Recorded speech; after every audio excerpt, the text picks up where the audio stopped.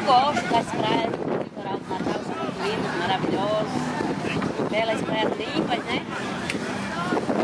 E também o Porto do Reis Magos, um ponto turístico, o Parque da Cidade, o Parque das Dunas, que as pessoas frequentam para turística, né?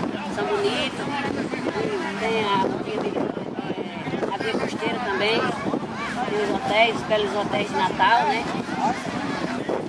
Ali na Ribeira é muito é, frequentado, tem belas apresentações.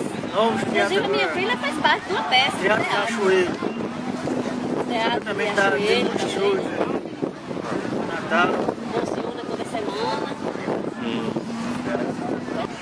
Tem vídeos, artesanatos ali na frente, tem um monte artesanato que é muito frequentado também pelos turistas, muitas coisas belas, naturais daqui de Natal, feitas pelas pessoas daqui mesmo.